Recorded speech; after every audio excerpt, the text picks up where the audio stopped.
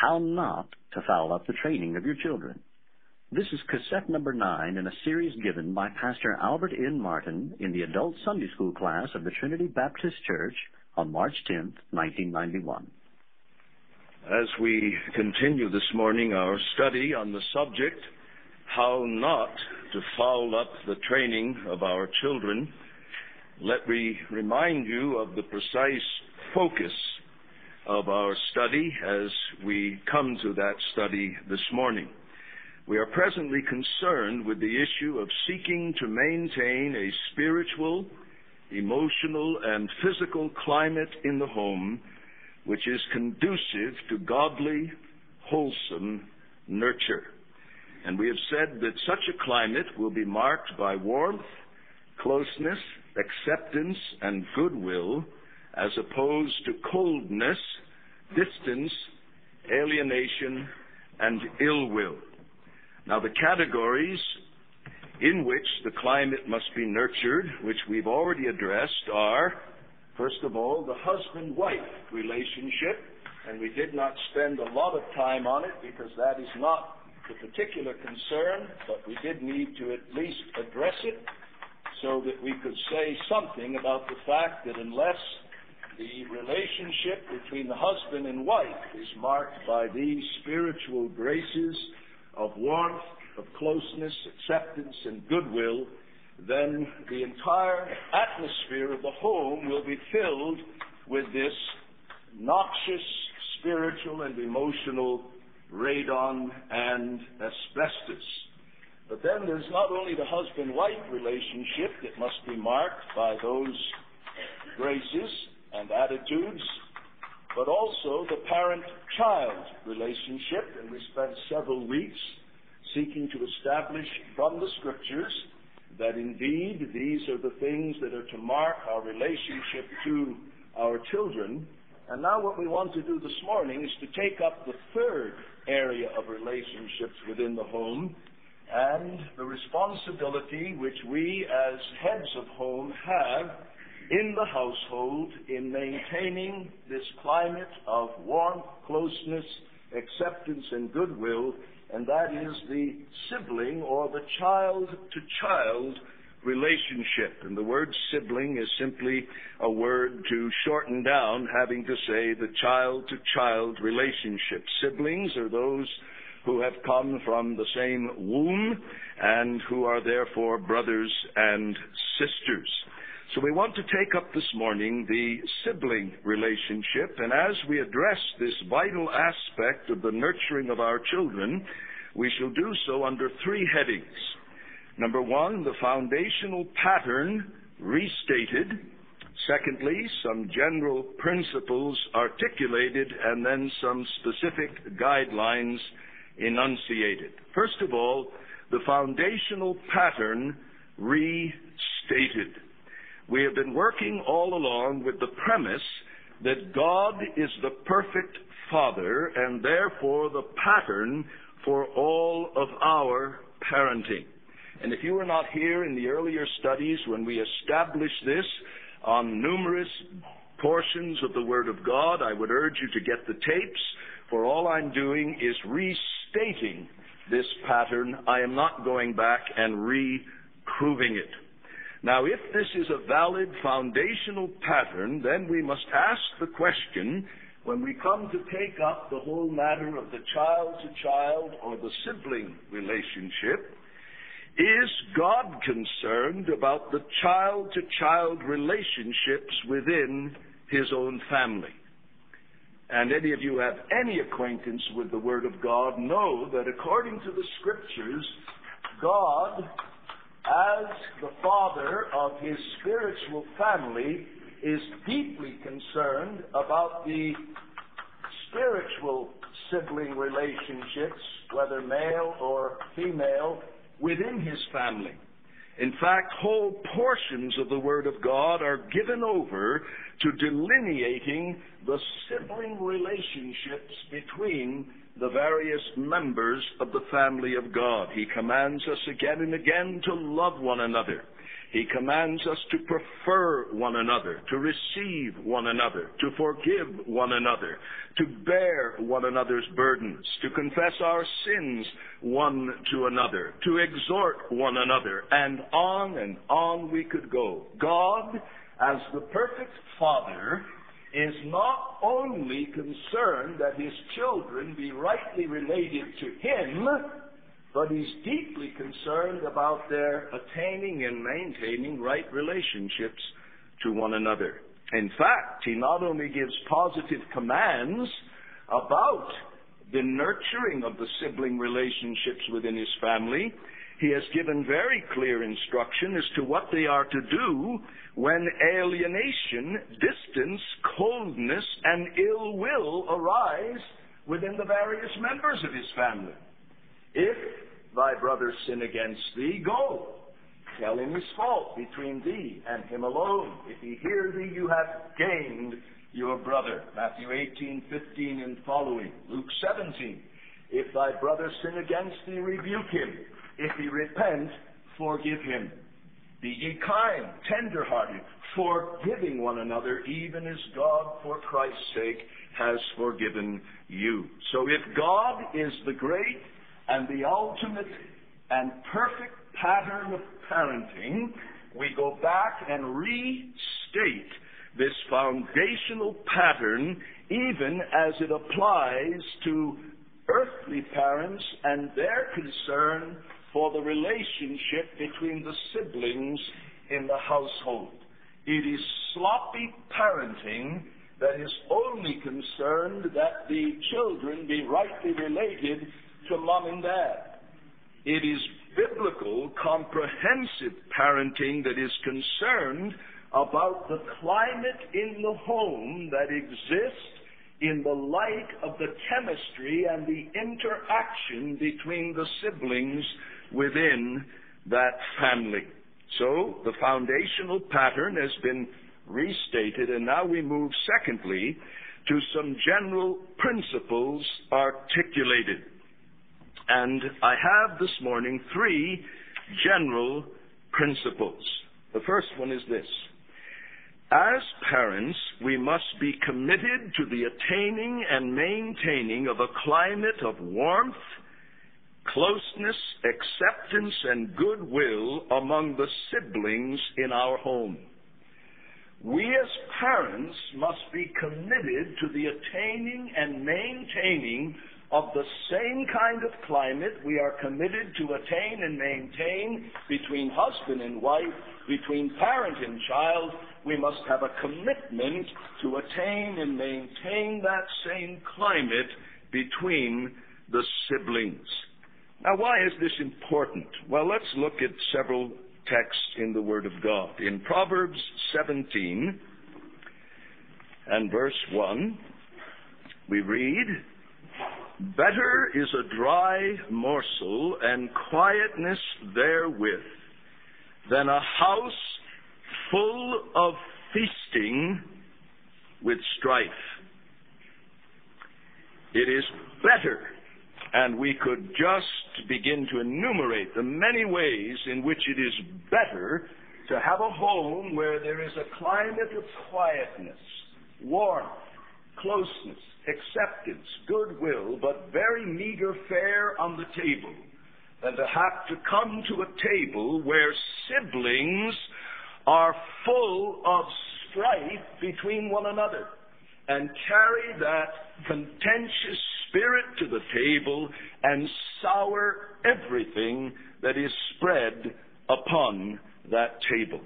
And I've been amazed over the years at how many Christian homes I've been in where one could feel the climate of strife, particularly when gathered at the table, and the head of that household was either oblivious to it, indifferent to it, or simply didn't have a clue as to how to deal with it. What a terrible thing. For Solomon says, Better is a dry morsel and quietness therewith than a house full of feasting with strife. And in James chapter 3 and verse 16, we are told this For where jealousy and faction are, there is confusion and every vile deed. Where any parents allow a relationship between siblings to be marked by jealousy and faction, that is, by a disruption of a climate of love, acceptance, and goodwill between siblings, those horrible sins will bring in their train a host of other negative influences. If there is more than one child, then the climate of warmth and closeness and acceptance and goodwill will not simply happen. And as with almost every other facet of the life of the home, the key is a godly Christian father who has taken seriously the words of Joshua and made them his own in Joshua 24:15b as for me and my house we will serve the Lord.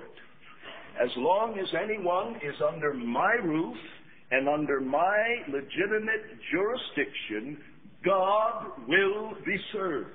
His word will be obeyed with reference to not only husband wife relationships, parent child relationship, but with respect to sibling relationships as well. It is my privilege and my duty, prayerfully and in the power of the Spirit and with manly assertiveness, to impose the rule of God upon my household. Say, that sounds heavy handed. No, that's manly godliness. As for me and my house, we will serve the Lord. I speak for them until they're out of the home and speak for themselves. We will serve the Lord. And I am committed, Joshua says, that within my household, the rule of God will be implemented insofar as I am able to implement it in the areas where only God can. I leave that to God, i.e., to change the heart but to set the patterns and to establish godly principles and relationships, those I am determined to do. So that's the first principle that I would articulate in your hearing that we must be committed to attain and maintain among the siblings this climate that we've described with those words again and again. Secondly, the second general principle is this. We must recognize the difficulty and limitations of this goal because of the ugly reality of human sin. We must recognize the difficulty and limitations of this goal because of the ugly reality of human sin. Now, I trust we are all well grounded in the doctrine of original sin. That is, that we are all conceived and born sinners. And the heart of this condition is universal selfishness. All we like sheep have gone astray. We've turned every one to what? His own way. 2 Corinthians 5:15 that we should no longer live unto ourselves but unto him who died for us and rose again. Now, once two self-centered, selfish people occupy the same turf, there are going to be problems. Because each one feels he has a right to do on the turf what he wants to do, when he wants to do it, and how he wants to do it. And the whole terminology of sibling rivalry may be relatively new. But it's very interesting when we turn to the Word of God that the first instance of sibling rivalry resulted in murder in the case of the first two children born of the human race. God created Adam and Eve. Adam and Eve, by virtue of normal sexual relations, were blessed with children. The firstborn was Abel, the second was Cain, and in sibling rivalry, Cain rose up and slew Abel. I'm sorry, it's the other way around. First one was Cain and then Abel. He rose up and slew his brother. So this matter of sibling rivalry may be a new terminology, but the problems arising because of human sin is stamped upon the very face of the testimony of Scripture. And when we look at those, what we would call categorical lists of sin, found in such passages as Galatians 5, 19 and 20, Romans chapter 1, verses 29 and 30, Mark chapter 7, 22, 23. When we look in those lists of sins, we see how many of the sins listed touch interpersonal relationships, particularly sibling relationships. For example, Galatians chapter 5. Galatians chapter 5. Verse 19. Now the works of the flesh are manifest, which are these fornication, uncleanness, lasciviousness, idolatry, sorcery. Now notice, enmities, strife, jealousies, wraths, factions, divisions. Isn't it interesting? The very things that plague the best of Christian homes at times wrath, faction, jealousy, strife, divisions. These are the outcroppings of what man is as a sinner. Romans 1 verses 29 and 30 will suffice for a second example in listing all of the horrible sins that characterize men given over to the lust of their own hearts, being filled with all unrighteousness, wickedness, covetousness, maliciousness, full of envy, murder, strife, deceit, malice, whisperers, backbiters, boastful, disobedient to parents. Now, we could go to other similar lists of sin. But now, my, why am I giving these? Well, that this second principle will take hold of our hearts. That we must recognize the difficulty and the limitations of this goal. What goal? Of having a climate between our siblings marked by warmth, closeness, acceptance, and goodwill because of the ugly reality of human sin. In dealing with our children and their sibling relationships, we are dealing with children in whom either sin reigns in their unregenerate state or in whom sin remains in their regenerate state. And we as parents are dealing with them as those in whom sin yet remains and can be very active and can be provoked to a level of frightening activity in our frustrations in dealing with sibling problems among our own children. How many times has a godly parent who sought to obey John 7:24, judge not according to appearance but judge righteous judgment. How many times has he felt the frustration trying to get to the bottom as to who really started this fuss and who's really the most culpable? And you've wished for just a moment you had a little bit of God's omniscience so you could sort out the whole thing, and your own remaining sin is stirred up in the form of a carnal frustration and irritation. So, with respect to this matter of seeking to maintain a climate in our homes, spiritually and emotionally, marked by warmth, closeness, acceptance, and goodwill among our siblings, we must not only start with accepting that responsibility as a responsibility laid upon us by God, but in entering into that responsibility, we must recognize both the difficulty and the limitations of this goal because of the ugly reality of human sin. And in my preparation, I was struck with the fact that even our Lord Jesus was not exempt from this. When you read the account of John chapter 7 of his siblings urging him to go up to Jerusalem and strut his stuff, and as one reads the responsible commentators, there is a general consensus that there was in that urging of his siblings not just a noble desire that Jesus would be more known, but there was an element of perhaps mingled uh, sarcasm and lack of appreciation, for John says, For even his brethren did not believe on him. So if one of the children in the home is regenerate and the other is unregenerate, now it's even complicated further. Because we read in Galatians chapter 4 verse 29, as then so now he that is born after the flesh persecutes him that is born after the spirit. And Jesus said in John, in Matthew 10:34 and following, and in Luke 14:25 and following, that he brings an attachment to himself that will disrupt these close family relationships. He says, I have come to cast, literally, a sword, and a man's foes shall be they of his own household. What happens when one of the siblings is regenerate and loves Christ, and his heart or her heart is committed to keep the law of Christ, and another sibling is still a child of the devil and hates righteousness and hates God and hates Christ? Well, you've got a complicated situation. So why do I say all of this? I say all of that so that you won't get discouraged.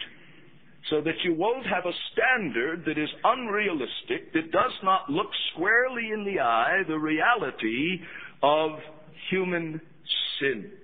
So that's the second general principle. We must recognize the difficulty and the limitations of this goal because of the ugly reality of human sin. But then thirdly, we must recognize, I'm sorry, the third general principle is we must not underestimate the power of God exerted in God appointed means, whether in common or prevenient grace.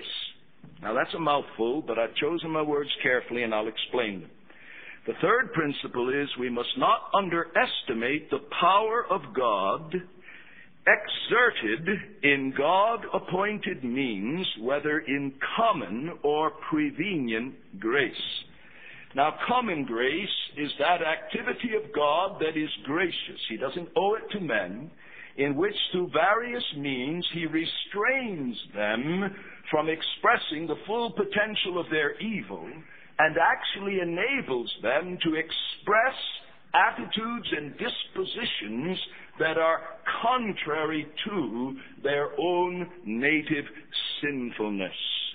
That's common grace. It stops short of regenerating a man, bringing him into union with Christ and under the blood of Christ and into the blessings of salvation, but it is grace nonetheless. Common grace.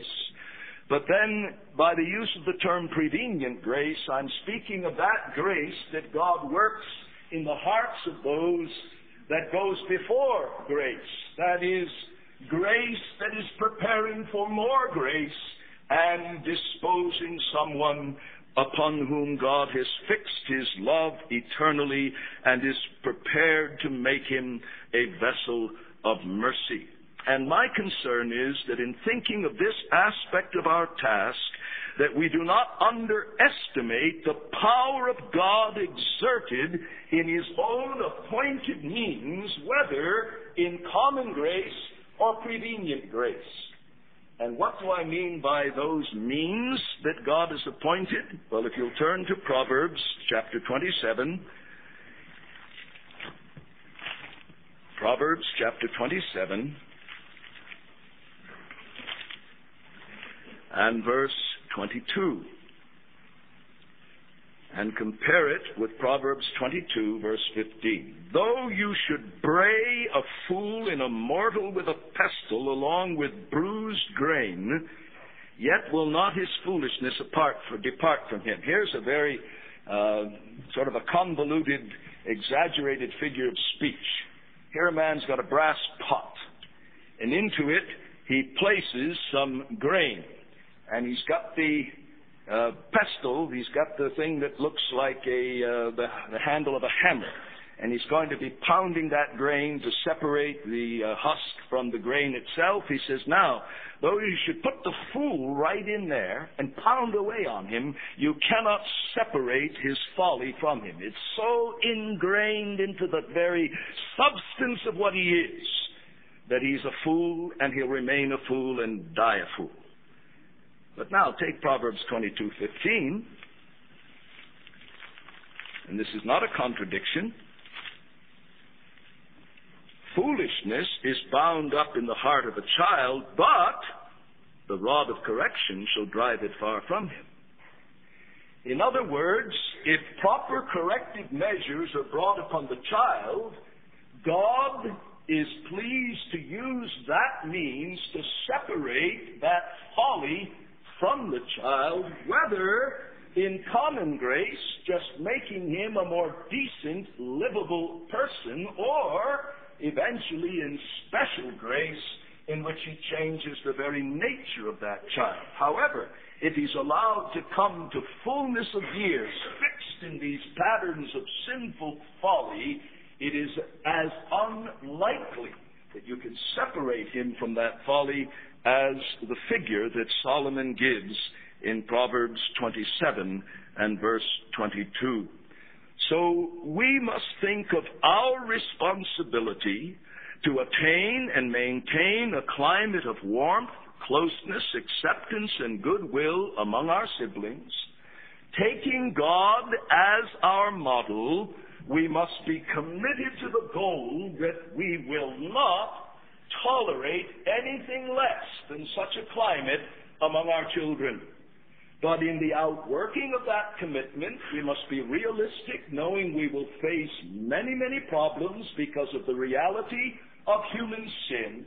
But we do so confident that in the use of God's means, He can do wonderful things, whether in the restraints and the conferrals of common grace or in the putting forth of prevenient and even saving grace upon the hearts of our children. So any approach then to this matter of dealing with our siblings to make sure under God that there is a climate in our home between the siblings of warmth, closeness, acceptance, and goodwill, those principles should regulate our thinking. Now we come in the third place to some specific guidelines. Some specific guidelines enunciate enunciated. And to enunciate simply means to state definitely. If you, as a parent, are laboring to keep your home free of the radon of tension, of coldness, of distance, and ill will, then certain guidelines must be operative. I'm not saying in these words, in these particular concepts conveyed just precisely this way, but since I must convey them in some form, this is the way I'm conveying them. Number one, don't tolerate impolite, abusive, or uncontrolled verbal exchanges between your children do not tolerate impolite, abusive, or uncontrolled verbal exchanges between your children. Now, again, when we turn to the scriptures in those lists of human sin, not only do we see that many of the sins are manifested in interpersonal relationships, but many of them focus upon the mouth. For example, in Romans 3 10 and following, where Paul is giving that summary statement of universal sinfulness, culling passages from all over the Old Testament.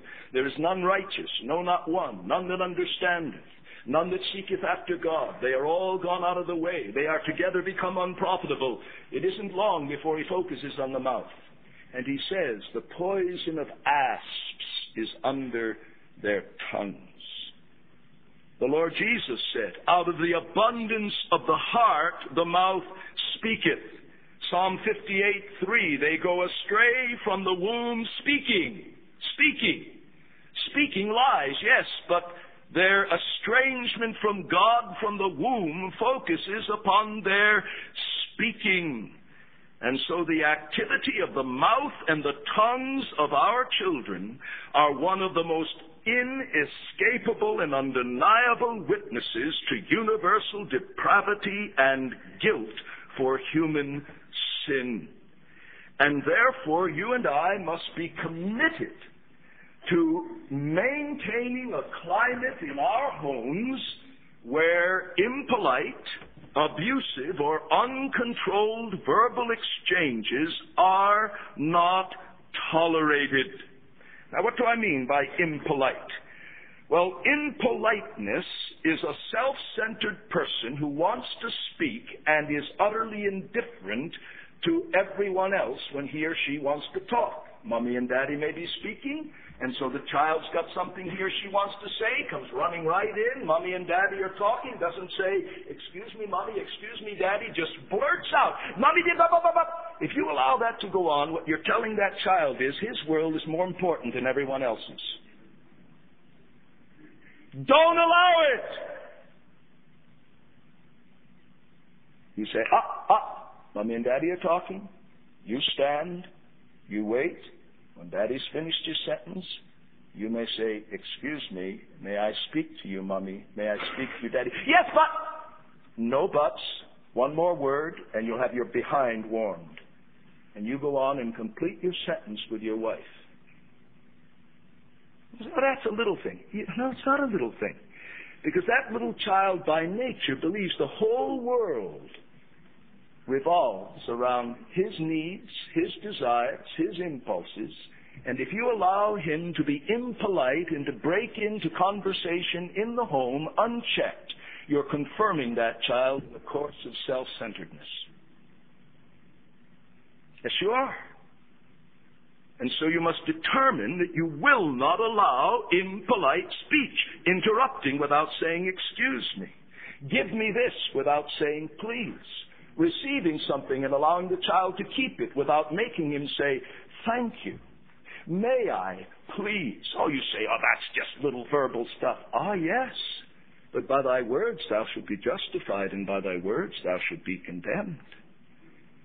And it is by means of polite speech that we are seeking to create a climate in which this child is saying to mommy and daddy and to the siblings, what you're talking about is important enough for me to wait until I find a break and say, excuse me. You see, words of politeness are not just social customs imposed by middle class white America. Every society has its own set of social customs which grow up in the realm of common grace if they are customs that are not evil in order to alleviate the otherwise hellish existence that would inevitably be present when a bunch of self-centered sinners get together on the same turf.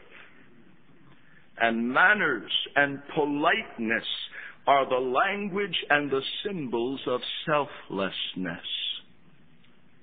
And they must be taught. They don't natively grow on self-centered sinners' soil. And you, as a parent, are responsible to inculcate them. Don't tolerate impolite speech. Don't tolerate abusive speech. It simply is not true that sticks and stones may break my bones, but words can never hurt me. Words do hurt. And any words that are used as a stick to hurt or a pin to poke, you must not allow among your children. One of them may have a tendency to be a bit chubby. Don't allow the others to call him or her fatty or fatso or tubby. You're allowing the siblings to take the stick of verbal abuse and to whack at the tender soul of another sibling. Don't allow it. Don't allow it. Don't permit it. And once you've made it plain that certain forms of speech are not allowed, you don't talk about it for 50 times. The time the child uses it, you apply appropriate discipline. That will come later. But don't allow abusive speech. And then don't allow uncontrolled speech. When the lack of control is screaming, butting in, don't allow it. Why? Because there are so many passages in the Word of God that speak to this very issue. Let's look at some of them. Proverbs 13 and verse 3. He that guardeth his mouth keepeth his life, but he that opens wide his lips shall have destruction. The person with an uncontrolled mouth is in the way of destruction, according to Solomon. You want to put your kids in the way of destruction or hurry them on in their way of destruction? Then just don't teach them to control their speech. Proverbs 12 and verse 18. There is that speaketh rashly like the piercings of a sword. Sticks and stones may break my bones. Names never hurt me, no. They are like the piercings of a sword. Dummy, stupid, fatso, tubby. Don't allow that in your home. They're like the piercings of a sword. Proverbs 15:1 A soft answer turns away wrath, but a grievous word stirs up anger. Where are our children to learn that? But under our tutelage so that we teach them how, when one of the siblings comes and is upset and they're ready to pounce and start a fight, how a soft answer can turn that away and they learn that lesson under our formative influence so that we have a climate of warmth and of closeness and of acceptance and goodwill as opposed to hostility and ill will. The soft answer turns away wrath. Verse 4 a gentle tongue is a tree of life, but perverseness therein is a breaking of the spirit. You want to break someone's spirit? Let siblings just beat up on one another with their words. Chapter 18, verses 6 and 7. A fool's lips enter into contention, and his mouth calleth for stripes. A fool's mouth is his destruction, and his lips are the snare of his soul. James goes so far as to say, anyone professing true religion who does not bridle his tongue is self-deceived. He doesn't have the root of the matter in him. Now we're not dealing with the question how to deal with these things in terms of chastening and admonition. All we're talking about this morning is your commitment as a parent that you will not tolerate among your siblings impolite, abusive, uncontrolled verbal exchanges. But then, secondly, my second word of counsel, enunciated, is this do not tolerate unresolved conflicts between your children. Do not tolerate unresolved conflicts between your children. Since they have sinful hearts, there will be conflicts arising from the clash of self-centered desires and wills. As we already indicated, the first sibling rivalry resulted in murder. And James 4:1 says that every kind of rivalry arises out of the disposition of heart with which we are born and which reigns until grace comes and which yet remains after grace comes Whence come wars and whence come fightings among you? Come they not hence, even of your pleasures that war in your members. You lust and have not, you kill and covet and cannot obtain, ye fight and war, ye have not because ye ask not. God has given us clear directives to resolve interpersonal conflicts in His family, has He not? If you have aught against your brother, go. Tell him his fault between thee and him alone. God's told us what to do. If thy brother sin against thee, rebuke him. If he repent, forgive him. God has not left us out to dry with just some broad general principles. He has given us specific directives as to how to resolve interpersonal conflicts within the family of God. And as the head of your home, you must likewise give specific directives to your children for the resolving of conflicts between them.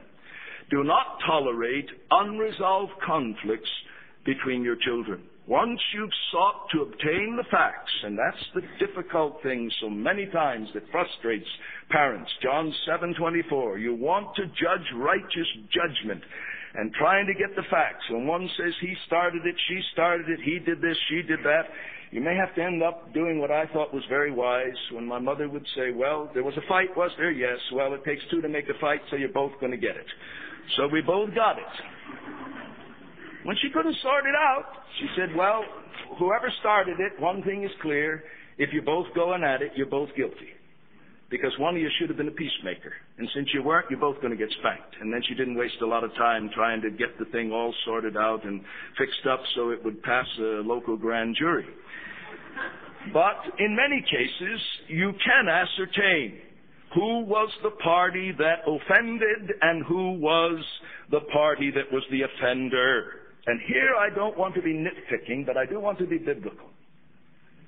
Don't make your children say to the person they've offended, tell your brother you're sorry. Saying you're sorry is telling someone how you feel. That isn't the concern. The concern is they have wronged them and they need their forgiveness. They need to confess their sin. So you have the child say, Now, Johnny, you say to Joey, I should not have taken your baseball bat without asking you. I sinned by taking your bat without asking you. Will you forgive me? And then you monitor Joey's response, who says, Yes, Johnny, I do forgive you. And then, as it may be appropriate in some situations to see if they really mean it, say, All right, give each other a big hug now and see if they can do it with a smile and their spirits break, or whether they're still stiff and distant from one another. Do not tolerate unresolved conflicts between the children. Bring the person who has offended to say, I have sinned, will you forgive me? Bring the offended to say, Yes, I do forgive you. And then in the language of 2 Corinthians 2, 7 and 8, seek to get them to confirm their love one to another. Some of the wrong patterns that I've seen even in Trinity churches, siblings have tension, and parents allow one of the kids to go off into his room and sulk. And just stay there till the tension blows over. The issue's never resolved. Lo and behold, 15 years later, we have a counseling situation as pastors. What's the problem? Well, here's a couple doesn't know how to resolve tensions. Why? Because the man or the woman was allowed as a child when there were sibling tensions to go off in the room and sulk and let time blow over and then come back like nothing happened, never dealing with things biblically. And now we've got to sort it out at age 25. Parents, it's your responsibility to inculcate the biblical perspectives on these issues. Don't let them go off sulking in a room. Don't let them storm out of the house and go play ball or go down to the family room and flick on the TV. Sin must be owned, confessed, and forgiven.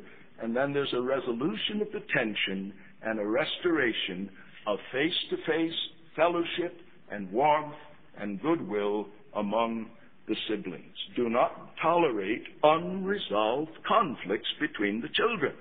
And then, third word of counsel and directive, a guideline is this do not tolerate a nitpicking, tattletale, hypersensitive disposition in any of your children. Do not tolerate a nitpicking, tattletale, hypersensitive disposition among your children. If you have among your siblings one who has a tendency to be a nitpicker and to be a tattletale and hypersensitive, you're going to have tension all the time. Because that particular child interprets every action in the whole world as being against him or her. Has an uncanny ability. Even the birds chirping outside are doing it to get on his nerves. And if they don't chirp, it's because they're trying to kid him that spring hasn't come. I mean, some kids, in the perversity of the way sin has woven itself into the texture of their psyches, they think that the whole world out there is just conspiring 24 hours a day to pick on them. Hypersensitive. They interpret everything in terms of a negative reflection upon themselves. And often that kind of spirit is joined to a tattletale spirit. They want to go and tell so and so did this and so and so did this, and they're nitpicking all of the time. Well, the scripture says that amongst human beings who are sinners, we must have the love, 1 Peter chapter 4, that covers a multitude of sins. 1 Corinthians 13, the love that bears all things, that thinks no evil. Now, I know some may feel that my own personality and judgment is warped in the wrong direction because of this, but if it had to go one direction, I'm glad it went wrong in this direction. In a large family, trying to sort out guilt between all of those siblings was rough business. And living in a small house, it was easy to read in motives to what someone did. And if we came running into my mother saying, oh, so-and-so did this because, she said, now wait a minute, let's sort out the facts. What actually happened? Well, this and this happened. All right, that's what happened. But you're saying this happened because. Yes. Well, do you know that? Did she or he tell you they didn't know? But I just know. Well, wait a minute. Wait a minute. Could there be any other explanation? Well, yes. What? And we were forced to think through other possible explanations for what they did. And then we were forced to take the one that had the least culpability and put that construction on it until proven otherwise. And then my mother quoted the text, love thinks no evil. Love thinks no evil. Love thinks no evil. Don't read in evil motives. As you would that others do unto you, even so do ye also unto them. That's another text that was pounded into me growing up. Would you like your brother or sister to read in the worst motive to what you did? You did what you did only because you forgot and you didn't knew it with malice. Do you want them to read in that you maliciously overlooked them? That you maliciously forgot to put their plate on or some other thing? No, well then don't you do that to them. As you would that others do unto you, even so do ye also unto them. Do not tolerate among any of your siblings a nitpicking, tattletale, hypersensitive disposition, and every time they come with this big scenario, and you're ready to sit down and take it all at face value. know you've got to teach them how to live in a real world where the world ain't going to come to a grinding halt every time they think a bird tweeted the wrong way. Or someone didn't quite look at them the wrong. They just can't exist in the real world, and so they become misfits. And they're like the poor drunk with the Limburger cheese on his mustache. Every place he went, he went, this place stinks, I'm leaving. Went to another place.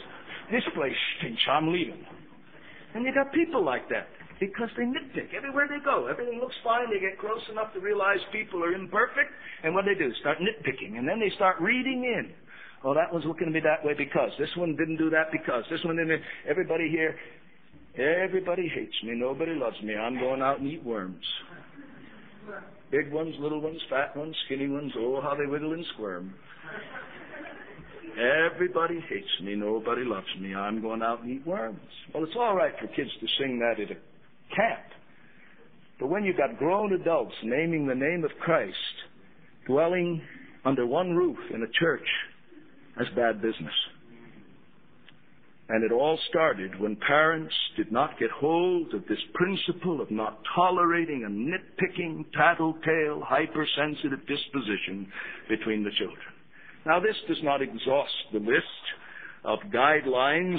It is only meant to be suggestive, hopefully to enforce some of the things that some of you are already doing, hopefully to get your mind thinking in areas where perhaps you've not thought because you didn't have that pattern and example and influence in your own formative years. But if you're going to do this, certain things you're going to have to lock into as parents. You must not tolerate these three things in your husband and wife relationship. You want to have a good conscience in dealing with these things with your kids, you better make sure that you practice them in your husband-wife relationships and in your relationships to your brothers and sisters in the body of Christ. If you are not in your own heart disciplining your own tongue, and if you are not resolving conflicts with your wife and with your brothers and sisters biblically, And if you are not being delivered from a nitpicking, tattletale, hypersensitive disposition between yourself and your spouse and your brothers and sisters, how in the world are you going to have any clout when you try to deal with those things with your own kids? Secondly, you must not allow yourself to be shut off from sibling interaction. A lot of parents just pull in their antenna they just don't want to know what the sibling interaction is. So they spend hours every day on the telephone. The kids are off in the other room and they hear some of the overtones of negative interaction, but they just can't be bothered. It's so wearisome. You have to keep your antenna out and pick up on the patterns and notice which one is the one who's the deceiver, which one is the one who's most likely to be sneaky. I had one sister, we still like to remind her of this story. She was the one that out in public everybody said, Oh, isn't she a little angel? Oh, she smiled so sweetly. She had this beautiful blonde hair and round face. She looked like a cherub. But she was the sneakiest one of the whole bunch. and we remind her of the day when she had gotten into the paint on the back porch. And this back before latex paint. This is the old oil stuff. There was a can of red paint, and she had gotten into it and taken a brush, and she had slapped it all over the back porch. And she had the gall to come around the front door with a little cherubic face on and knock on the door of all things. And my mother came to it. Here she is, spattered with red paint, guilt all over her, and saying, Mommy, Sonny painted the back porch red. Go and look. Oh, we remind. I was Sonny, you see. I never heard my name, Al or Albert, till I was 20 years old. I always used to be amazed how strangers knew my name. They'd come up and say, hey, Sonny, and I'd say, well, do you know my name? But that was the classic example of her tattletale thing. You know, she kept up this cherubic face, but oh, she was mean in the home. That was one of the biggest evidences that God saved her. She became in the home like people knew her to be outside. Then we knew God had done something on the inside. So you must not allow yourself to be shut off from this interaction. Don't get lost on the telephone, moms, so that you're not aware of the sibling interaction of your children. Don't plunk them in front of the TV, which insulates them from realistic sibling interaction. It insulates them from one another. And one of the curses is we've got a generation brought up insulated from interpersonal interaction because they were glued to the boob tube. Don't allow the kids to go off and carry on their own little world in the privacy of their own room. Yes, they need some privacy. Yes, that's part of their overall development. But don't allow them to run from their siblings because they don't want to work at the hard stuff. You are molding a life and lives. Keep within range to know what's going on. Then thirdly, you must not show a carnal favoritism toward your children. I said a carnal favoritism. There's nothing wrong with feeling more drawn naturally to one child than another. That's just human. There's nothing wrong with that. Temperament, responsiveness, even God's like that. His children who obey him most fervently, he loves most deeply. He that hath my commandments and keepeth them, he it is that loveth me, and he that loveth me shall be loved of my Father, and I will love him, and will manifest myself to him. But I said, don't show carnal favoritism, a favoritism that will create a climate of provoking your children to anger and to discouragement. And then don't be partial in your dealings with the sins and weaknesses of your kids. 1 Timothy 5:21 what is true for Timothy in ecclesiastical matters is true for parents. Do these things without partiality and oh, how many examples in Scripture we can see where this principle was not recognized in the tragedy that came. Look at David with Absalom. He almost lost his grip on the nation because he had a sinful partiality to Absalom. And we know in the patriarchs how devastating this influence was. Well, these are just some general principles that I lay before you. Our time is gone. And let us pray that God will help us as parents to be committed that among the siblings in our home, there will be, by the grace of God, a climate of warmth, closeness, acceptance, and of goodwill. Let's pray together. Our Father, we confess to you how much we need your grace in these matters of responsibility laid upon us. We are not sufficient for these things. We confess, O Lord, that we are natively lazy. We do not want the tiring and wearisome task of monitoring the chemistry between our children and working on those areas of weakness and sinfulness. But, oh God, give us the long-term vision of what we are molding and that we may leave as a marvelous inheritance to another generation children who have learned the basic chemistry of good interpersonal relationships because by your grace we have taken the time and expended the energy and the pains to mold these perspectives into them in their formative years. Bless our endeavors. We thank you for the many who are committed to these principles. Help them and sanctify their labors and bless them to the end that whether in common or in special grace, we may have a generation of children who are not abrasive and impolite and socially boorish and self-centered and uncontrolled in their tongues and hypersensitive and nitpicking. Oh God, may this church not be cursed with the plethora of such sins in another generation. Help us by your grace, we pray. In Jesus' name, amen. You have been listening to How Not to Foul Up the Training of Your Children by Pastor Albert N. Martin. These cassettes are distributed by the Trinity Book Service. If you would like a free listing of other audio cassettes and books,